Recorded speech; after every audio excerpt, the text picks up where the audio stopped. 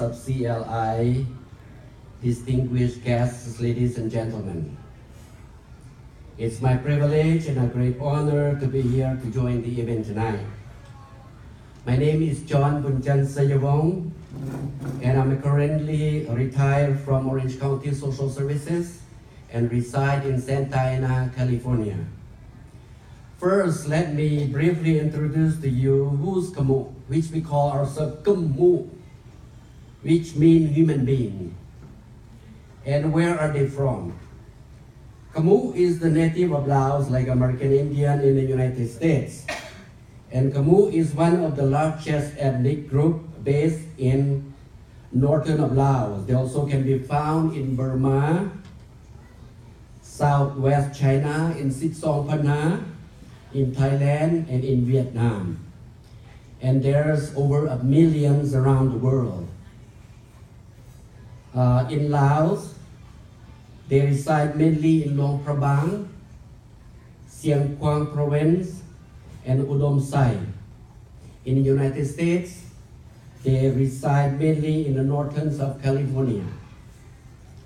In the 13th century, or around the year of 1320, one ethnic group called Lao or Dao immigrate from southern northern portions of China, led by Khun Lo, one of the seven sons of Khun Borom, came invade and conquer this territory and drove some of the native inhabitants into remote of mountain area.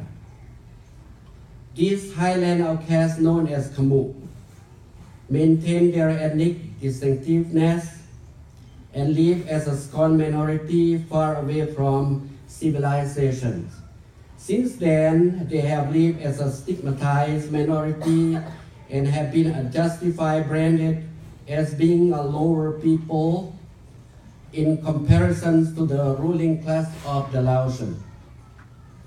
The Khmu in Laos in general lack of educational skill that would help them succeed. About 95% are illiterate due to lack of schooling. During the monarchy rule, royal government's aid did not extend into the territory of the mountain tribes. Seems like the Khmu were mistreated and discriminated against.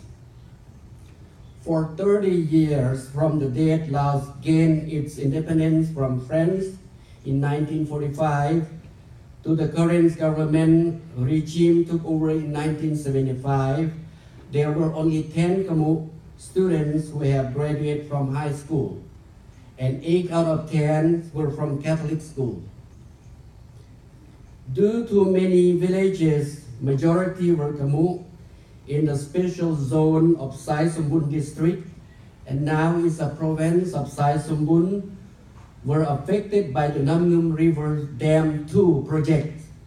So they were refuged by no choice and relocated to the new locations in Salmon Mương Phường, uh, Vientiane province. We, the CEO, Mr. CEO, and Vice Presidents had a chance to visit these new locations. We met with the local authority and they gave us the information about the students' need and toured the villages. They really need to have a library there so they can learn after school to keep them away from being gangster or doing drug.